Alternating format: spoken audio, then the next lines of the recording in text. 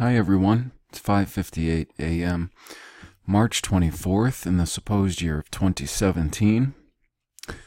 And that is Eastern Standard Time, 5:59 a.m. Eastern Standard Time. And uh, I'm really glad to be back in front of this microphone, even though uh, I really didn't want to again, and I haven't wanted to uh, for just about two weeks now. Uh, last week, I forced myself to do the, I think I did one video to do that.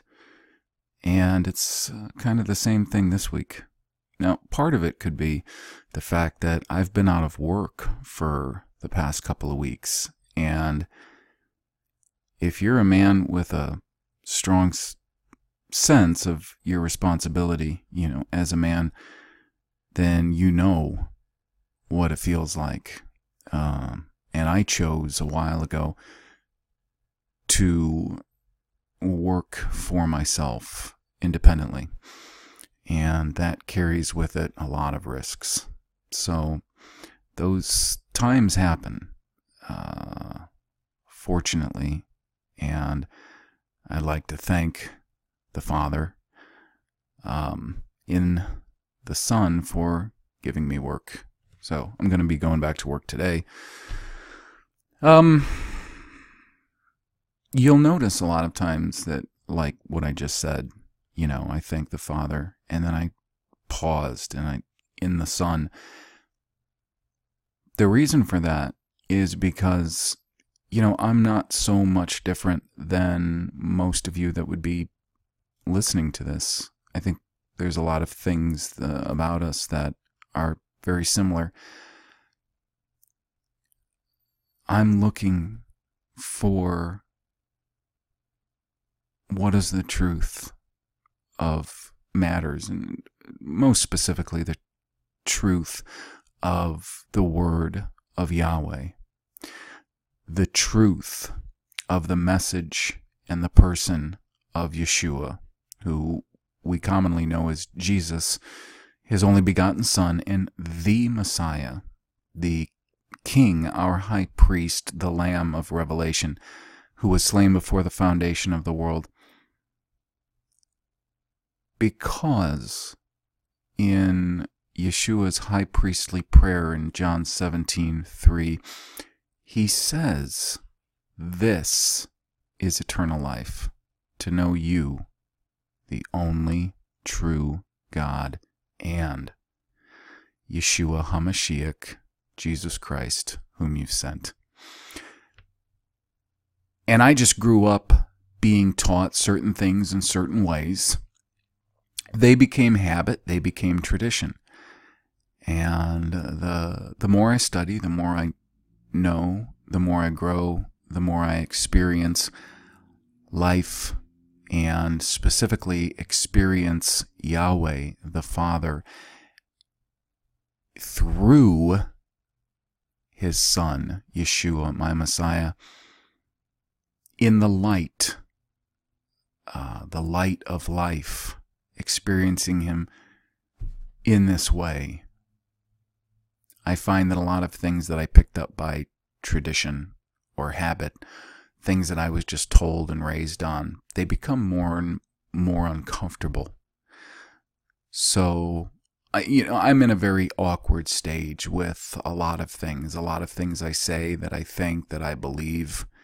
Uh, I often am uncomfortable with ending, you know, every single prayer.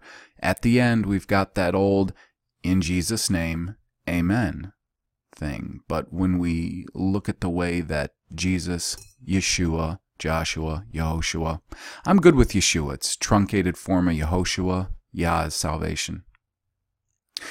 We look at the way that he taught us to pray, his disciples. And he didn't say that every time we had to say a prayer, we had to say, and in his name, that there was that caveat. He did say if we ask things in his name, but we need to consider what in the name of means. Are we talking specifically about nomenclature? Uh, or are we talking about by way of authority of?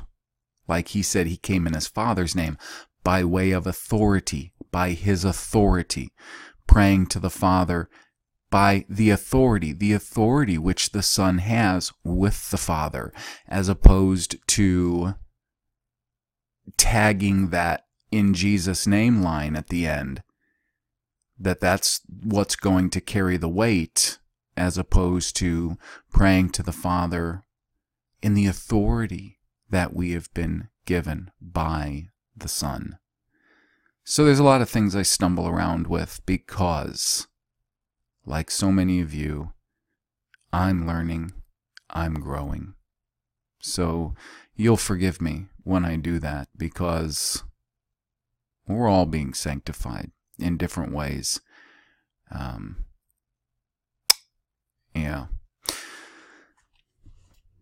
So today I put up this image on my screen which is uh, it's, it's sort of a a meter that's give, trying to give us a, a representation of the visible spectrum of light.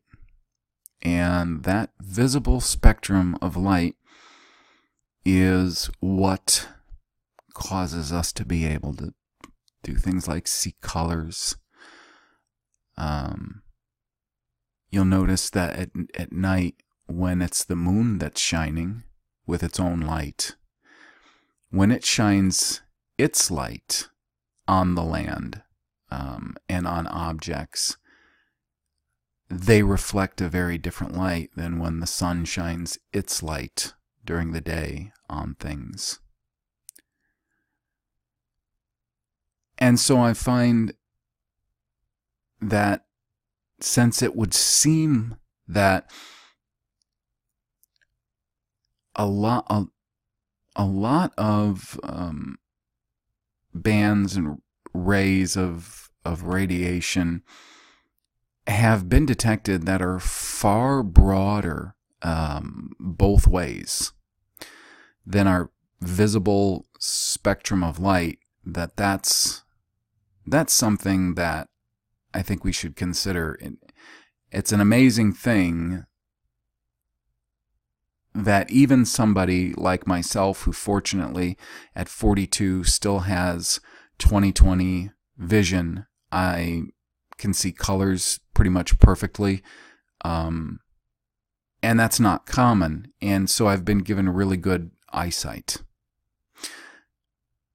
But even somebody like me with such very good eyesight when you think about it, even if I perceive the full color spectrum of visible light, I'm only seeing a tiny degree of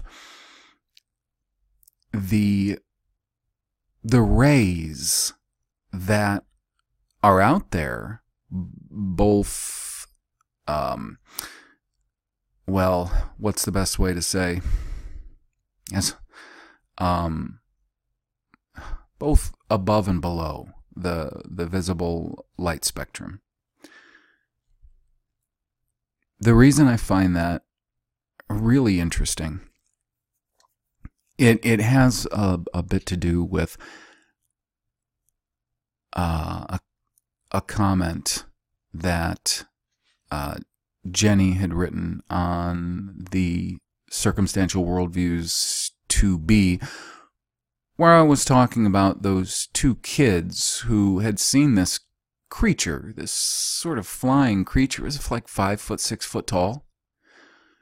And it had the, the, the these strange looking wings that, you know, were bunched up by its shoulder and smashed gorilla looking face, strange beak, red eyes, uh, they told their parents. Their parents didn't believe them, but the father went out and checked where they said that it was the next day, and he found those prints of it in the dirt. I think that description that they gave, it sounds a lot like the same descriptions of like the Mothman in Point Pleasant and all that, but anyways. Um, the whole point was that these kids' parents didn't believe him. They didn't believe him. And I went through the same thing when I was a kid. And at, at night, I was so afraid uh, every night to go to bed, to be left alone in my room.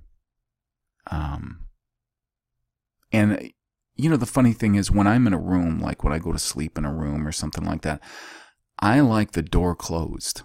And oftentimes I like the door closed and locked because I'm asleep. And so I kind of like I I like this sense that, you know, when I'm sleeping, you know, nobody can just walk in a, a door or whatever, you know. I keep the doors on my house locked as well. So it's not really like me to want to want to sleep with, you know, doors open or anything. Just never has been, but when I was a kid, and we're going to say from about the ages of 7 to 10. This is when I was given my own room. Up until the age of 7, I didn't have my own room. I kind of had to rotate between my parents or my two different sisters or my brother's room and a sleeping bag, sleep on their floor. This was uh, post uh, bunk beds that they had set up in uh, um, my brother and I's room. Um, because I couldn't stay in the top bunk and I had actually fallen out of the top bunk. That's a bad story right there. But um, I was given my own room and um, it, this yeah, there's something something wrong going on in this room and I don't you know I don't know why. When I would go to sleep at night, my bed was in the opposite corner of the corner of the room where the door was at that went out into the, the hall. Um, it was a small hall that led to the other bedrooms upstairs in a very old farmhouse, square farmhouse with a pyramid style roof.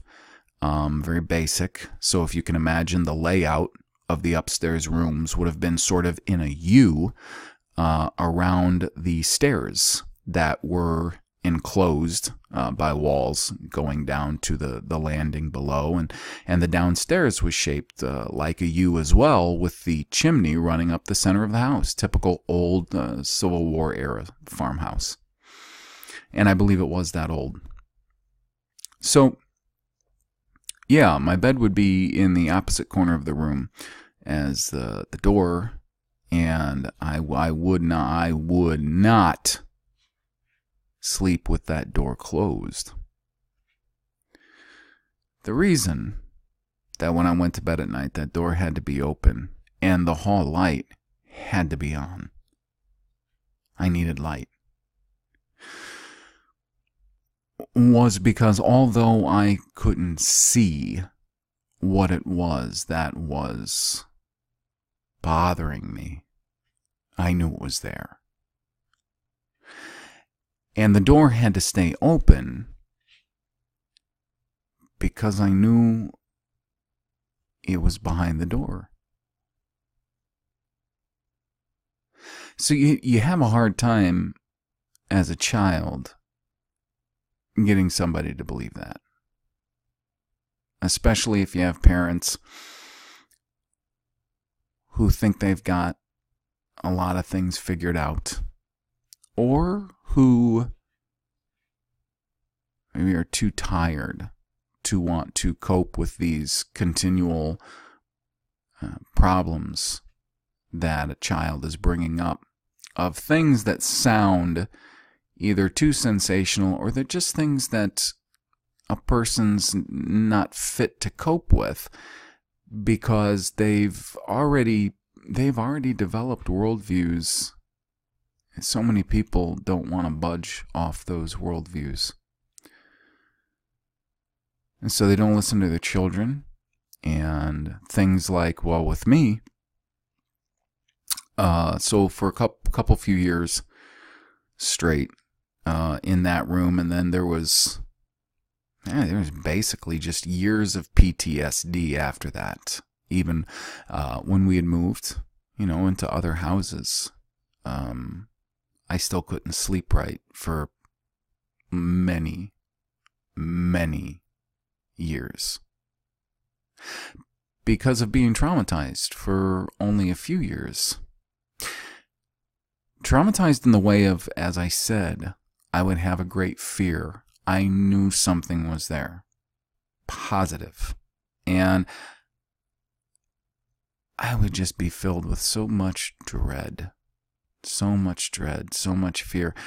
I would lay often at night watching that door,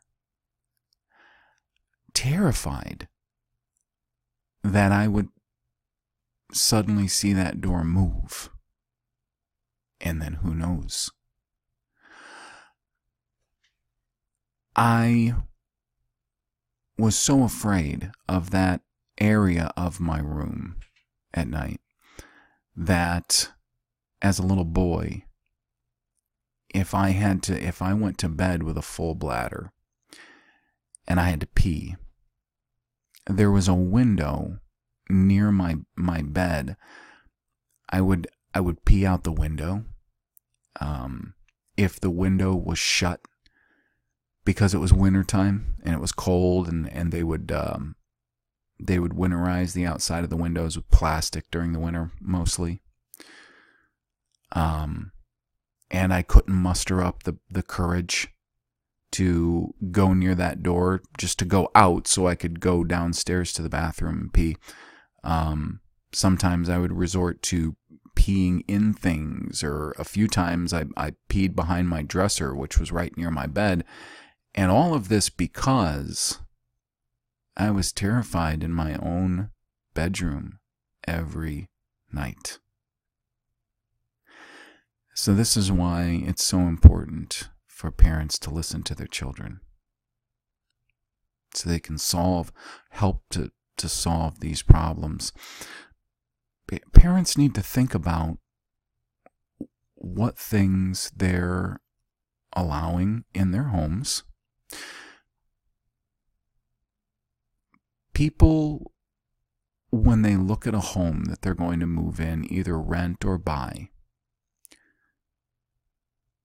people need to be filled with the Spirit of God. Because if you are, you're typically, I don't know if there's any variations to this, you're typically, you're going to be very sensitive when things are wrong. In the past, I've turned down houses because I've walked through them and knew that something was wrong. The place didn't feel right. And that's all I needed to say, no, that's okay. We'll pass. So parents need to be sensitive to these things. As far as being wise to these things, uh, the details and um, I don't know how how necessary that is. I think that we need to um, put our faith in the Father Yahweh because of uh, the works and promises of His in Yeshua. I continually, either during family prayers, um, at dinner, or in my own private prayer time, continually ask uh, and invite uh, the Spirit of Yahweh to dwell in my home, to dwell with us. and since it's not a common thing for the Spirit of Yahweh to want to dwell in a place that you are profaning I think it's wise to consider what ways or what things you you may have or bring into your home or invite that are well they're very incompatible with a place and an environment where the spirit of Yahweh wishes to dwell. That's same with our own bodies. You see, when we allow uh, sin in our bodies, it's not compatible with the Spirit of Yahweh. When we bring sinful things and dark things of the demonic, and it doesn't have to just be, it doesn't just have to be things that, that Hollywood calls demonic, you know? Um, I think it's a pattern that people with um, habitual pornography issues are inviting the same kind of um, bad spirit to, to dwell in their home as as people that allow talismans, um, things like that in their home. Um, I would get rid of them. Now, Jenny said that there were things in her home that were related to the occult, uh, that her mother was into uh, the occult, perhaps spiritism, you know.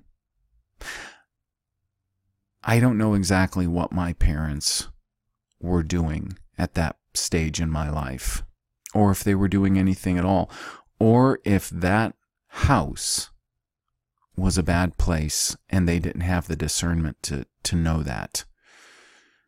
Uh, throughout that house, really, even when after my parents got divorced and my dad pretty much moved everything downstairs to save on energy because we we burned wood there. I mean, we were old school.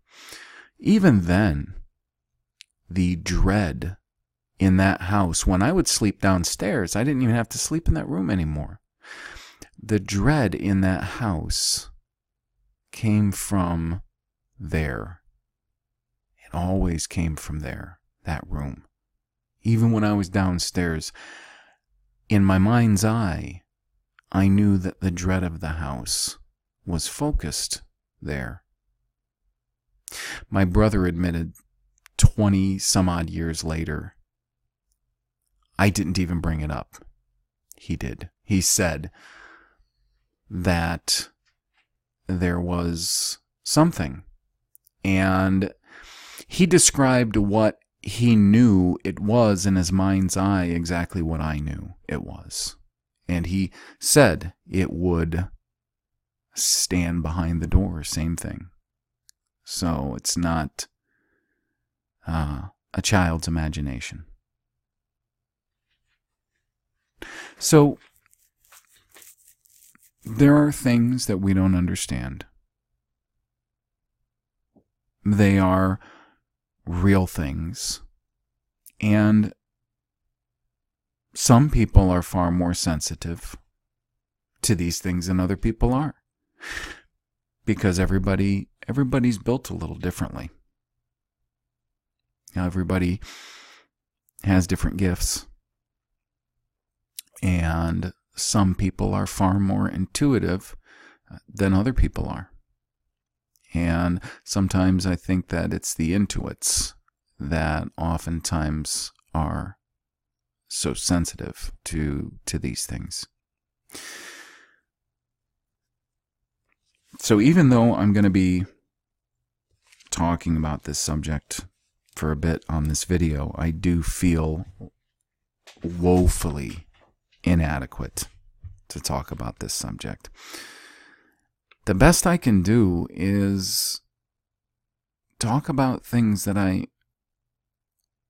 I'm aware of from the Bible and see if by considering those things maybe we can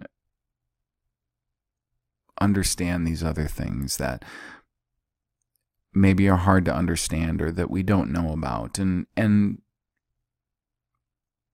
maybe we you know maybe we don't really need to know a lot about them or, or shouldn't know a lot about them you know and that's something that people need to consider especially the people that kind of obsess on these kind of things, you know? Um, so that's a serious consideration.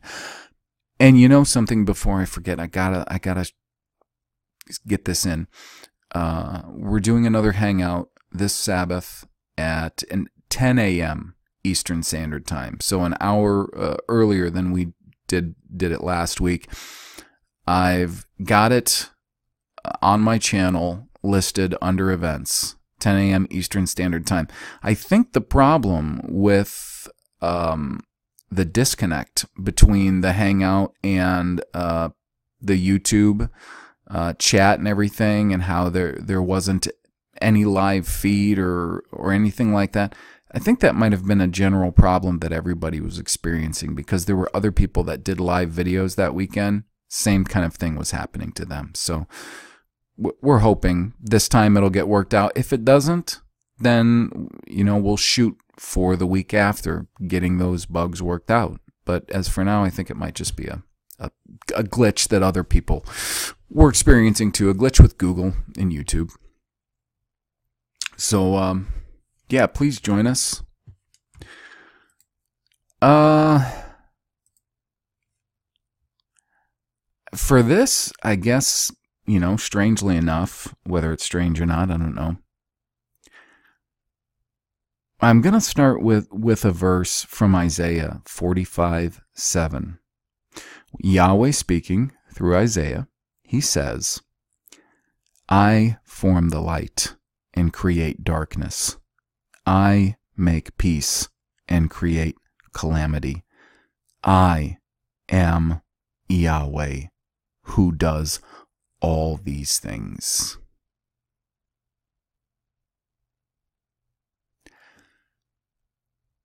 Okay.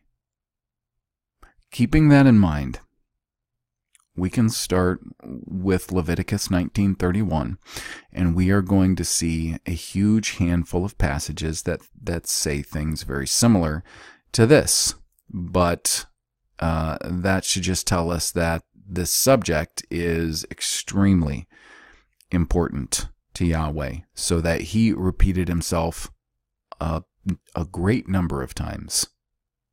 All right, but in Leviticus 19:31, Yahweh says, "Don't turn to those who are mediums, nor to wizards. Don't seek them out to be defiled by them. I am Yahweh, your Elohim, Eloah, your God. If you have eSword, it's a really great tool. I use it in conjunction with a number of other digital Bible tools, but eSword's good. There's a section in the commentary called TSK Cross References. It's fantastic because any verse you click on, it will give you a whole slew of cross references that uh, they either are repetitive in the content or they will link you to very similar uh, things and content. It's really great for when you're studying Revelation, although there is a disconnect between the New and the Old Testament because of the Hebrew and the Greek, and that drives me nuts. So I can't do straight word searches because of the Hebrew to the Greek, but the TSK cross reference will allow you to search back into the Tanakh when you're in Revelation. Use it, great tool. So there's a lot of cross references here. We've got Leviticus 19:26, you shall not eat any meat with blood still in it. You shall not use enchantments nor practice sorcery. So those people who who drink blood of any kind, they've got problems. We know they've got problems. Um, if if any of you have heard of kuru, you know, you can understand that's just one of the problems. That's a physical manifestation of a far deeper problem because these people are defiled. They're defiled by these things. They're made dirty by these things. Uh, Leviticus 26 and 7 the person that turns to those who are mediums and to the wizards to play the prostitute after them. I will even set my face against that person. I will cut him off from among his people. Sanctify yourselves, separate yourselves, therefore, and be holy, for I am Yahweh, your God. He calls people who go to mediums and who go to wizards prostitutes. They're prostituting themselves. When they seek after any spirit that is not Yahweh, their God, they're playing the prostitute. They're defiling themselves. They're making themselves dirty. Now keep that in mind because he continually calls those, calls Israel when Israel goes after their Baalim and their Ashtoreth, uh, when they worship of all things the disgusting god Moloch and cause their children to be burned to death. They have their orgies for these non gods, although they are called Elohim. They are not the only true God. They're defiling themselves. They're making themselves prostitutes. They're playing the harlot. They're whoring themselves. So that's precisely the way he puts communing with any spirit that is not his spirit, the Holy Spirit. He says in Exodus 22:18, "You shall not allow a sorceress to live." Exodus 20:27, "A man or a woman that's a medium or a wizard shall surely be put to death. You'll stone them with stones, their blood shall be upon them." Deuteronomy 18, 10 through 14. There shall not be found with you anyone who makes his son or his daughter to pass through the fire, one who uses divination, one who practices sorcery, or an enchanter, or a sorcerer, or a charmer, or a consulter with a familiar spirit, or a wizard, or a necromancer. For whoever does these things is an abomination to Yahweh. Because of these abominations, Yahweh your God drives them out from before you. You shall be perfect with Yahweh your God. For these nations that you shall dispossess, listen to those who practice sorcery and to diviners. But as for you, Yahweh your God has not allowed you to do so. Now, consider this. If we go back to the book of Exodus,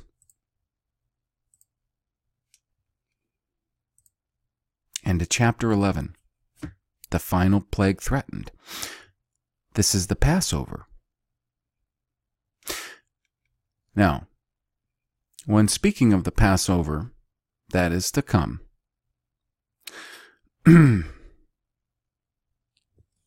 I have the exact verse written down here. But then again, I got a lot of verses written down in here. uh, okay. So we've got Exodus 11. Um, okay, here we go.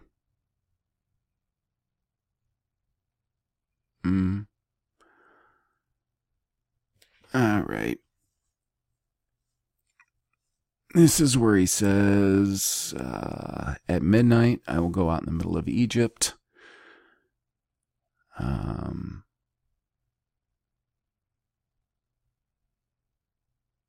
oh, you know what? I'm sorry.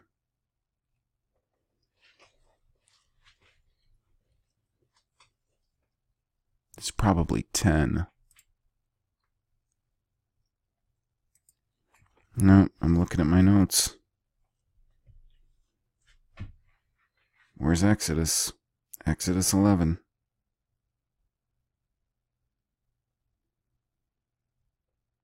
Sorry, it's 1212. I apologize for that break. Exodus 12:12. Yahweh says, "For I will go through the land of Egypt in that night and will strike all the firstborn in the land of Egypt both man and animal. Against all the gods of Egypt I will execute judgments. I am Yahweh. So that's, I think that should be a point of interest. that these plagues they did, of course, directly affect the people of Egypt and then did not affect uh, Israel. But Yahweh says here in Exodus 12 12, he says, against all the gods of Egypt, the gods of Egypt, I will execute judgment. We know that there exists a realm that we're not very aware of. But Yahweh, and then in the New Testament, Yeshua's apostles and Yeshua himself, they tell us quite enough concerning what we need to know about these things.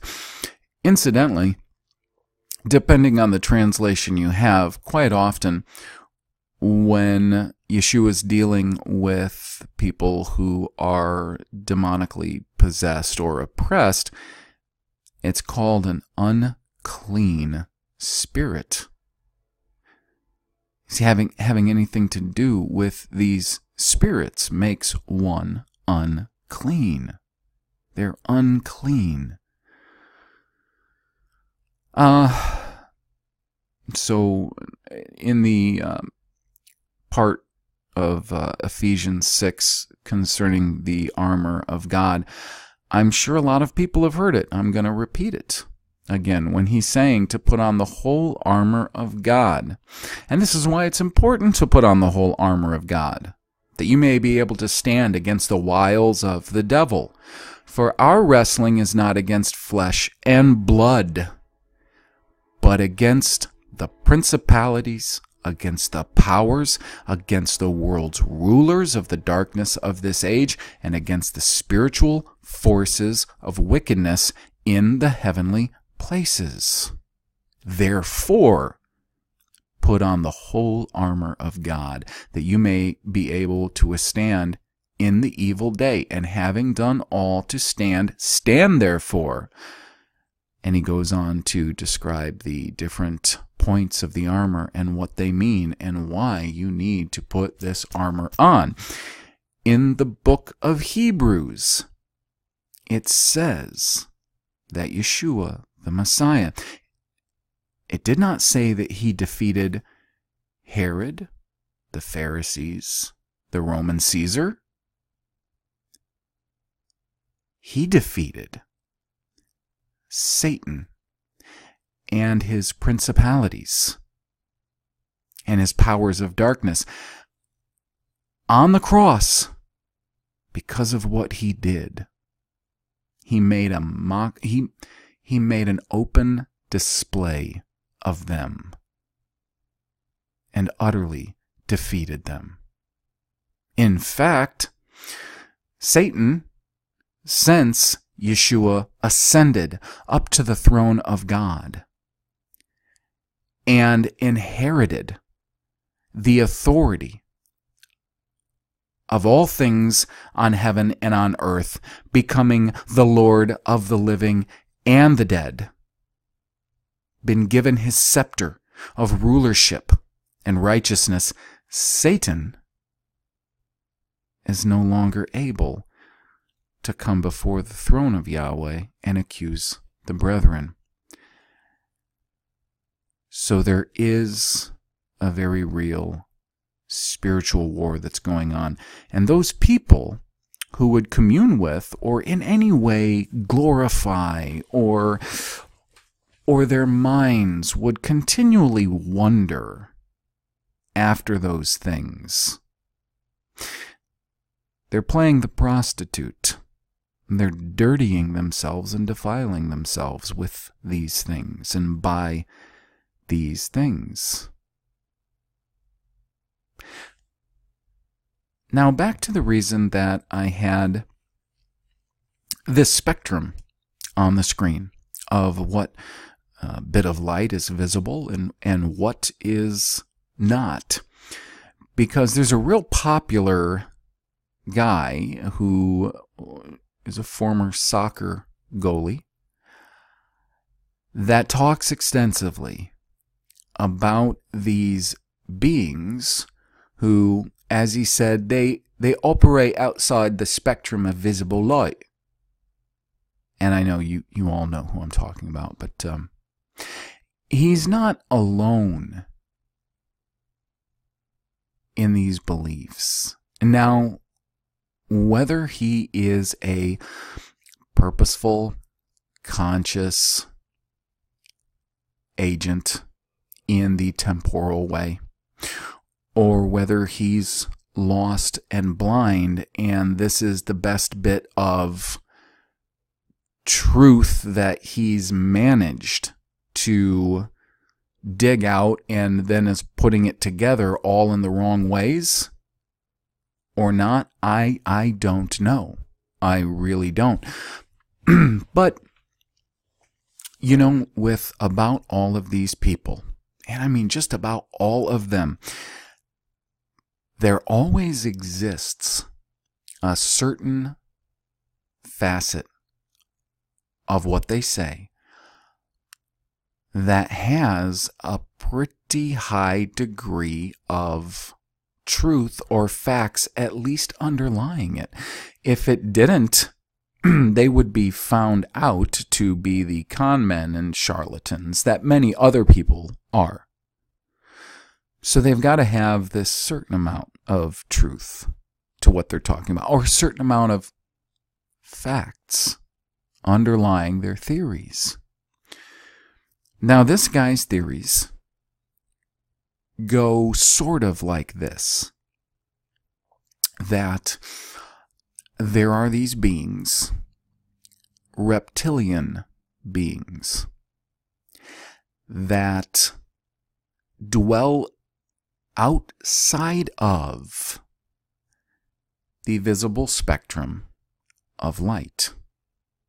And he's specific about reptilians. Now, he goes further on to say that he believes that reptilians have been in some way breeding with humans for some time now.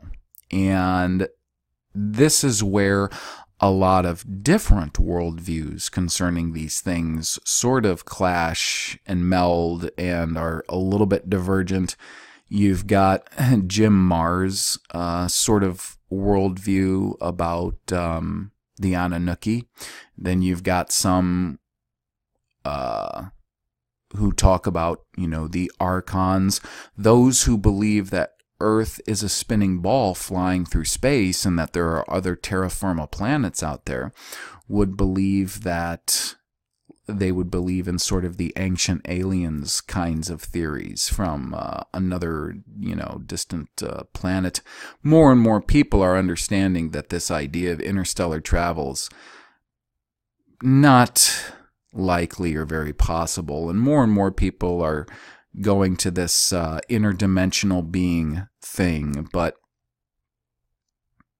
uh, the long and short of it all they all seem to be talking about things that are they're quite similar. A number of these things all have a vein, a vein that runs through them like uh, like a fine vein of pure gold would run through um, a virtually valueless rock.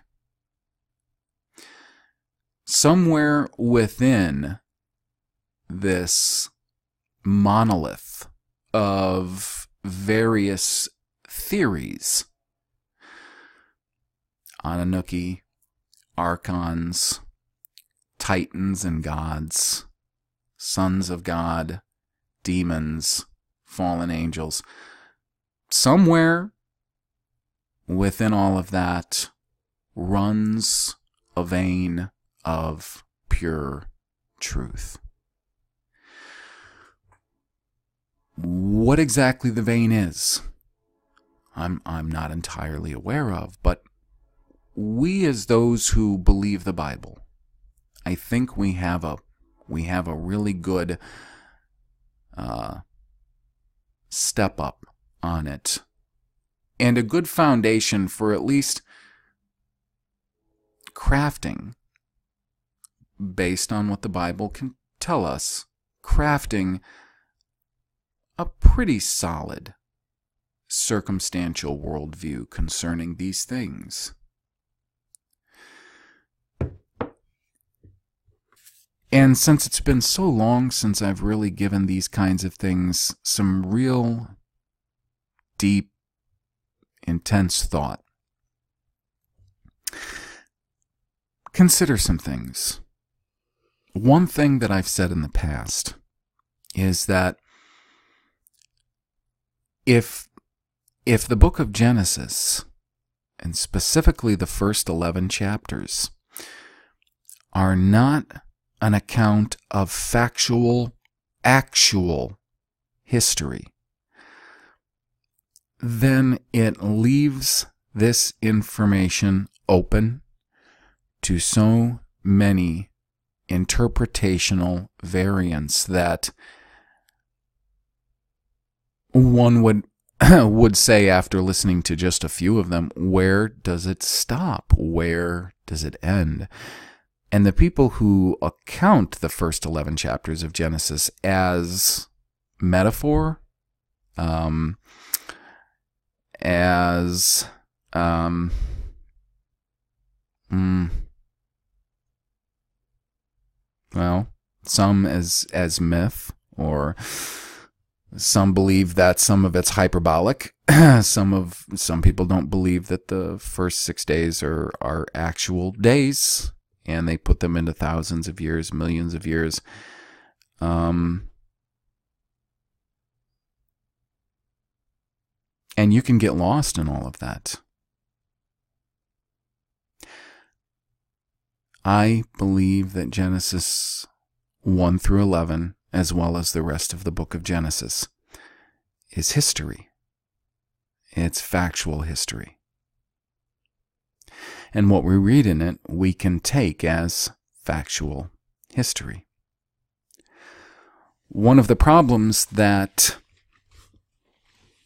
Christians have had for very long time now at least since the Reformation, from times when we have more solid records than before the Reformation, because that's when the big black hole is concerning history. Becomes very difficult to track. But at least since then, a lot of professed Christians who have written commentaries on the Bible have this problem in Genesis chapter 3 what they want to do and what they're still doing to this day, and what I was taught when I was a little kid, is that Satan, this great, beautiful angel, head of Yahweh's choir, that this great wonderful, gorgeous being, entered into a snake or serpent.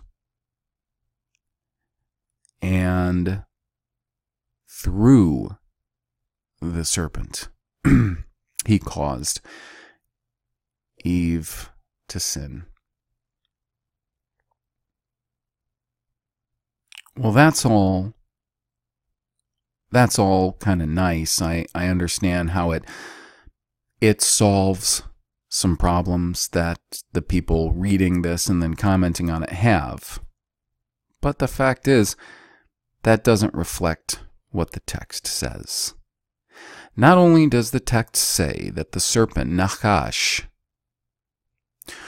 was more subtle, more crafty than any beast of the field Yahweh had made, so he's being given distinction.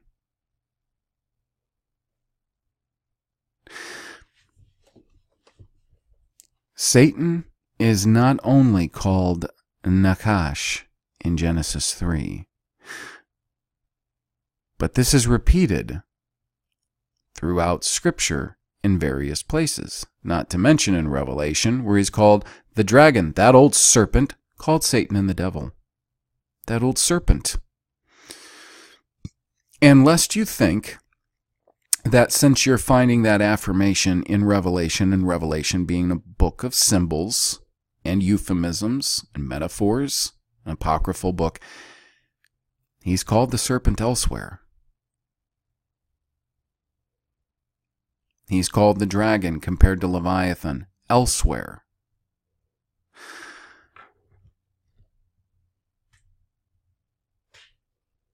So instead of us trying to soothe our minds and things that we can't understand by saying that Satan, a great angel of light, which there's no proof for, you, you get that because you reinterpret Isaiah 14 and Ezekiel 28. That's how you come to that conclusion. Because there's there's no markers in those books that should tell you that you're departing from talking about the king of Tyre, the king of Babylon, or the prince of Tyre and the king of Babylon, that you're departing from speaking against them, and then all of a sudden you're speaking of Satan. Just because there's language and hyperbole in those passages that you may not understand, that does not mean that they're speaking of Satan. And we've got this, we've got now a twisted idea of who Satan is, and his name isn't Lucifer. Again, his name is Luc- Do you know what Lucifer is? The morning star? Do you know that Yeshua is called the morning star too, right? In the New Testament. So those passages, Isaiah 14, Ezekiel 28, is referring to Satan. They got to go. Okay? We, we gotta we gotta get them out of our vocabulary when trying to understand these things. Okay, I had to stop that for a second and just check because I don't want to make claims and not be able to back them up with Bible verses when I said that it is more than just Revelation in Genesis 3 where Satan is directly called a serpent.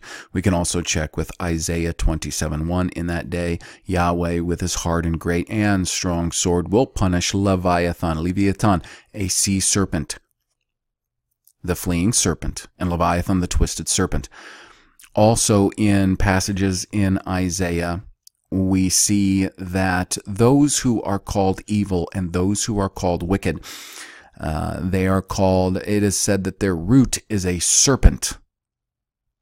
In the Gospels, when Yeshua is talking to, or when John the Baptist is talking to the Pharisees.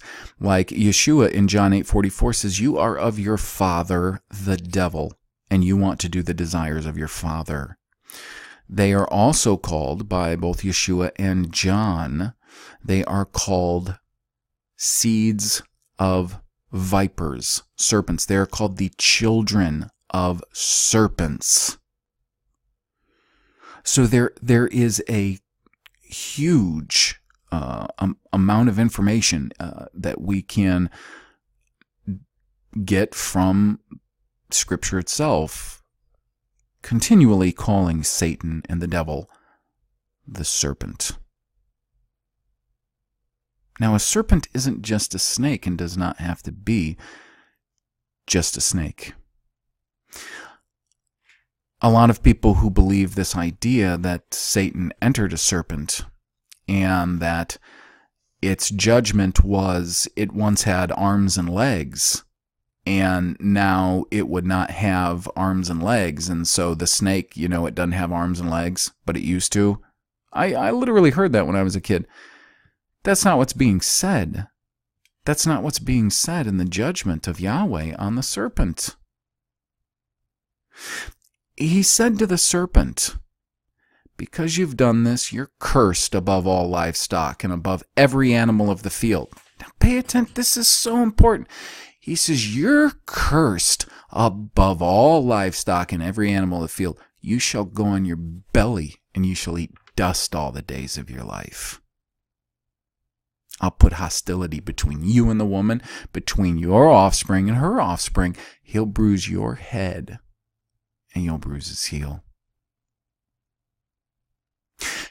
Now, we know in this prophecy that the language being used is prophetic and metaphoric language. We know that.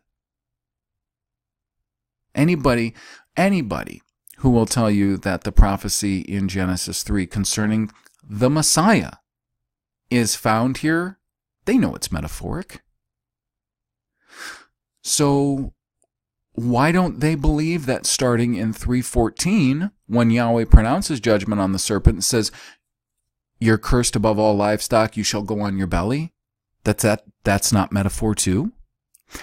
All livestock and animal of the animals of the field were put under the dominion of man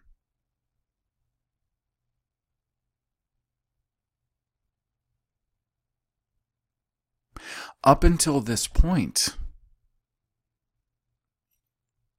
it's very possible that Nakash, who is identified as Satan and the devil, was not put under the dominion of man. But because he did this thing, he was to be cursed more than every animal of the field and all the livestock. And you know what? We could probably spend a great amount of time unpacking that and and looking at, at how that has played out and manifested itself. But just keep that in mind. Genesis is history. Satan is Nakash. Nakash. He's called the serpent. Now, we can go into Exodus 7, 10 through 12. Um, well, this is the, the this is Aaron's staffs and the magicians of Pharaoh. They threw down their staff. They both turned into serpents, and Aaron's staff, that was a serpent, ate the serpents that the magicians of Pharaoh had thrown down because Yahweh is greater than their their gods who remember Yahweh said he was punishing their gods. Um, I'm sorry, that's not where I meant to go to, but I meant to go to Numbers 21 and 6. Yahweh sent, now this says, venomous snakes among the people, and they bit the people. Many people of Israel died. We don't know for sure if the word here would translate correctly as venomous snakes, but it is Nakash Seraph. Let me pop on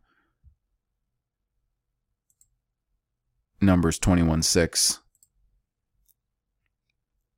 Fiery, Seraph, serpents, Nakash. You can do a word search on both the fiery and the serpent, both of them will come up with these serpentine. It, it it's kind of amazing if you want to do word studies on both Nakash and Seraph. Nakash, serpent.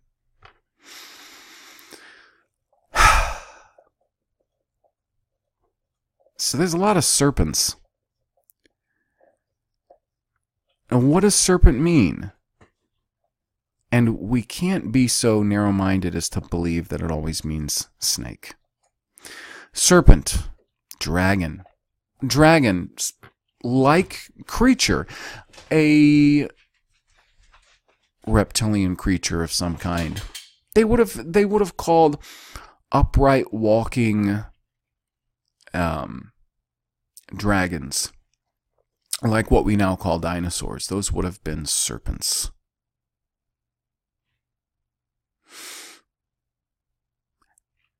This stuff should, I think, give us all food for thought. When you consider that many of the legends, myths, and tales of different sorts of beings that in some way or another have interacted with man for a very long time, that different cultures, pagan cultures, worshipped, venerated, um, the symbolism and symbology of about every pagan culture concerning snakes and their veneration of snakes. Remember me reading on Amaruca and Quetzalcoatl.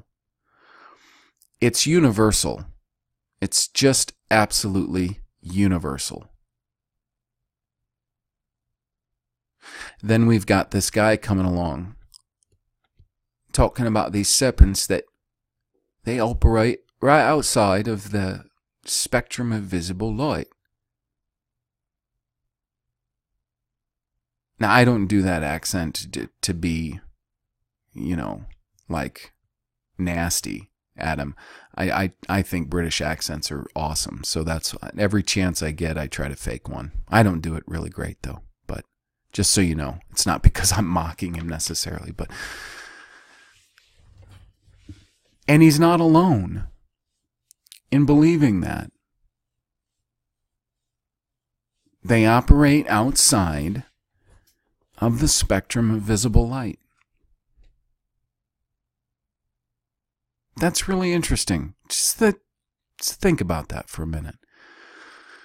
If you have to pause this and just think about that for a minute, think about how he and many others consider them reptiles or reptilians. Consider what we just read in Genesis 3 about Nakash who is Satan and the devil, consider how the pagan nations of the world universally, before they were evangelized with the, the great message of the kingdom and Yeshua uh, crucified and resurrected, universally worshipped and had in their symbology serpents serpents and the sun. And the funny thing about Quetzalcoatl, Quetzalcoatl, the plumed serpent, was the messenger of the sun. Serpent and the sun. Baal, the sun, the serpent. And consider these things. And consider this idea that somebody who does not have a redeemed mind in any way has about these beings operating, so he says, outside the spectrum of visible light. I do a poor English accent. But if I worked on it a little bit, I'd be okay. While you're considering that, I'm going to jump over here. 1 Kings 8.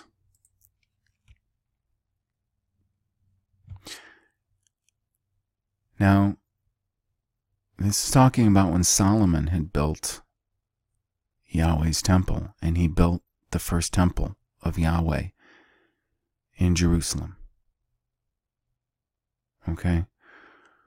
Um, and it says because they were they were putting the uh, ornaments and and things of the tabernacle into the temple so I'll start at 1 Kings 8 9. It says, There was nothing in the ark except the two stone tablets which Moses put there at Horeb when Yahweh made a covenant with the children of Israel when they came out of the land of Egypt. It came to pass, when the priests had come out of the holy place, that the cloud filled Yahweh's house, so that the priests could not stand to minister because of the cloud. For Yahweh's glory filled Yahweh's house. Then Solomon said, Yahweh has said that he would dwell in the thick darkness. Say, what? Yahweh said he would dwell in the thick darkness. Yeah. Yeah, that's what Solomon says right here. And we're going to TSK cross reference that. Go to Deuteronomy 4:11. You came near and stood under the mountain. The mountain burned with fire to the heart of the sky, with darkness, cloud, and thick darkness.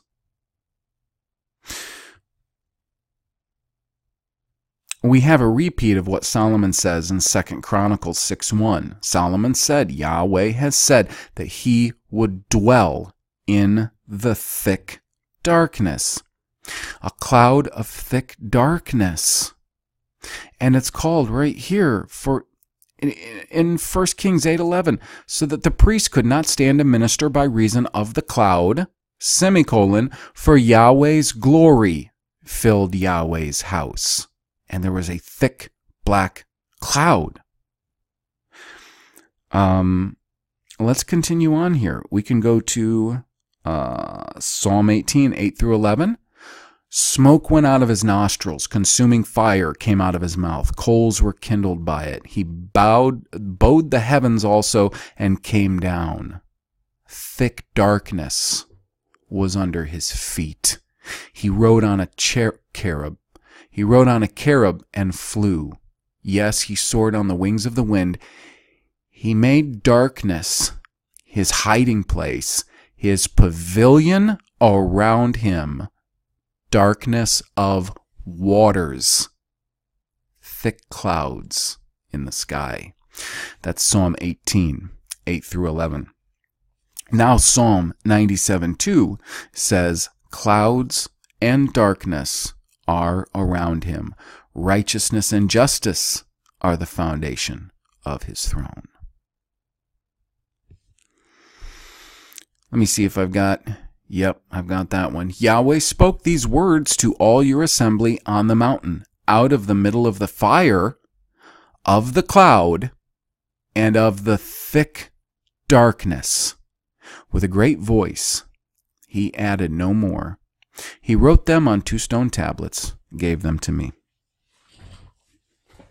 So, we see this again and again. You go go back to Job Yahweh describing the earth. He says he has wrapped it in thick darkness. You notice when they, they send those amateur rockets up or those balloons up, and as soon as it gets to a certain height and it starts looking around, what's around? What what is it? What does it show? Does it show the stars and the galaxies that are supposed to be ever present out there in this made up universe of theirs? Or does it show what Yahweh said? Thick darkness like sackcloth, water, and thick darkness. He's made thick darkness his pavilion.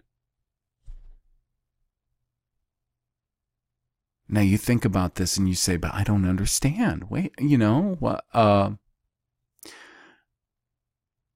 he's supposed to be light. Well, yes, we see, like in the last chapter of Revelation, that uh, the city it needed no light because he was the light and the Lamb was the light we see in uh, the Gospel of John, chapter 1.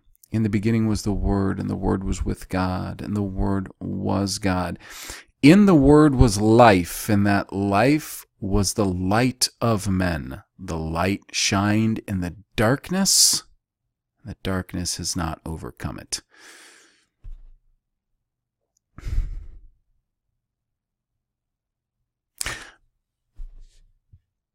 Perhaps this thick darkness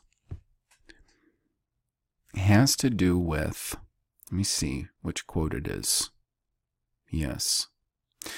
Leviticus 16:2 And Yahweh said to Moses, Tell Aaron your brother not to come at all times into the most holy place within the veil before the mercy seat which is on the ark, lest he die. For I will appear in the cloud on the mercy seat. He says he'll appear from that cloud on the mercy seat. That cloud being described in 1 Kings 8:11 as his glory. Why? Why? As they describe a thick black cloud. Well, you remember when Moses was on Mount Horeb, Mount Sinai with Yahweh, Yahweh would not allow Moses to see him. In fact, he placed Moses in a cleft of a rock and held his hand over that so that all that Moses could see was his receding glory. That's all he would allow. And even that was a great deal for Moses when Moses came back down from the mountain. Some translations say his face shone, and it was so terrible for the people to look at that they made him cover it and put a veil over it.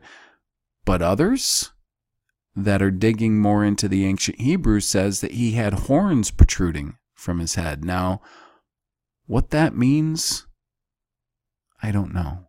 I don't know. But Moses spending that time with Yahweh and being able to view only his receding glory did something did something amazing. Amazing. To quite literally just the appearance in the face of Moses. You have to wonder if that thick blackness, that black dark cloud, is the way in which this holy God, who is Yahweh, shields his unbelievable, amazing appearance that we can't begin to grasp from unworthy, sinful flesh.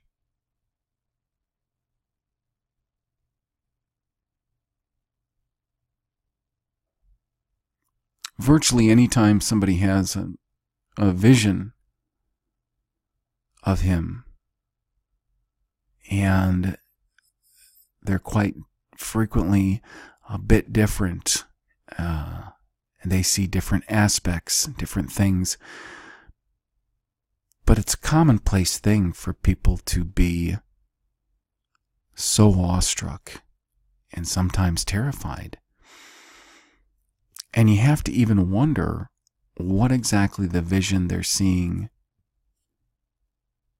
is and how they're allowed to see these certain things.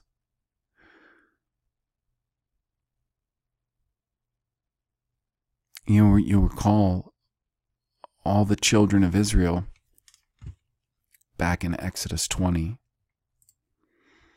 after Yahweh had finished speaking the commandments, the children of Israel said to Moses, Speak with us yourself, and we will listen. But don't let God speak with us, lest we die. And Moses said to the people, Don't be afraid, for God has come to test you, and, and that his fear may be before you, that you won't sin. Uh, the people stayed at a distance. And Moses came near to the thick darkness where Elohim was this thick darkness.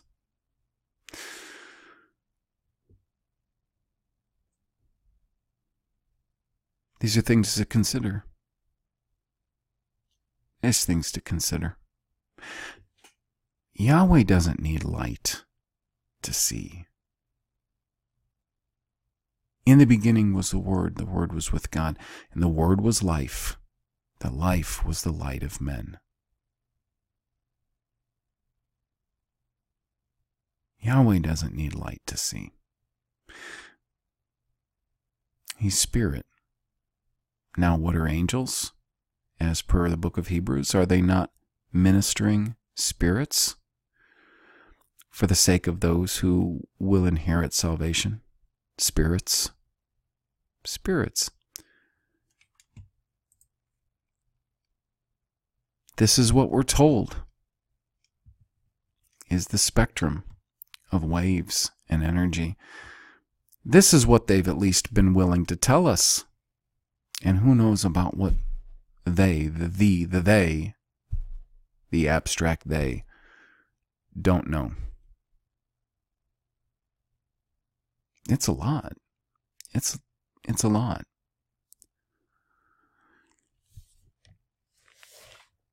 But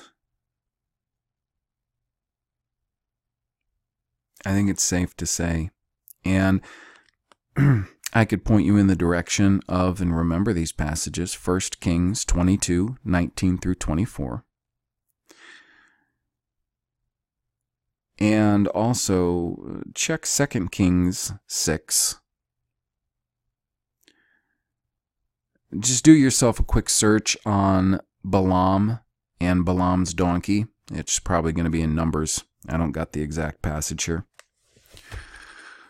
Go look at Jacob wrestling with the angel at the brook when he was traveling back into uh, Canaan.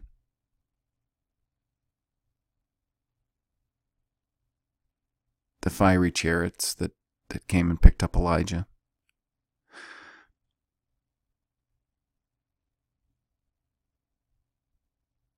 This is just this creation that we live in, the, the eyes that we see with they're very limited. And we are flesh. Yahweh's spirit. I would say that those who are referred to as sons of God, at least some of them are spirit. I don't know. Uh, I don't know if all of them are or not. It's hard to say. I haven't put a lot of time into studying these things out because, for one thing, I notice that people tend to get very obsessive with these things. Professed Christians get obsessive with these things. I don't think we should ever get obsessive about these these things. I'm not saying it's not good to be informed, and especially everything the Bible will tell us about these things. Then that's good to be informed of, you know. But I, I tend to focus on other things, I suppose, when I study. Or in a lot of ways, I don't actually focus at all, specifically when I'm doing my my daily readings and general studies. So, but when I do my my actual studies, I have been focusing on other things because there's issues that that I think have a lot more weight, uh, at least for me, uh, right now. But I do think this is a good thing that we begin to understand and begin to understand what we can understand um, from what the Bible tells us. Because that's where we should be getting all of our truth.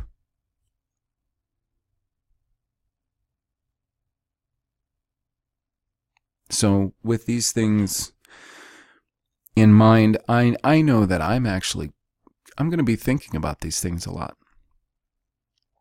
because there were, were a number of verses uh, that I looked at as cross references, and uh, and not too long ago I did do a pretty extensive uh, word study on both Nakash and Seraph, and you can find both of those words back to back in those two passages from Numbers um, that I gave you and you probably be able to find that in 7 10 through 12 also. Um and you'll find it in isaiah 6 4 sorry it's isaiah 6 4 numbers 21 6 and 21 8 and it'll give you something to think about. So i'm going to wrap it up and i was glad to be able to be here with you. I hope that I see some of you in the chat uh, tomorrow on Sabbath at 10 Eastern Standard Time. So until then, remember, Yeshua's Lord, God's kingdom, Yahweh's kingdom is forever, and I'm your servant. So farewell.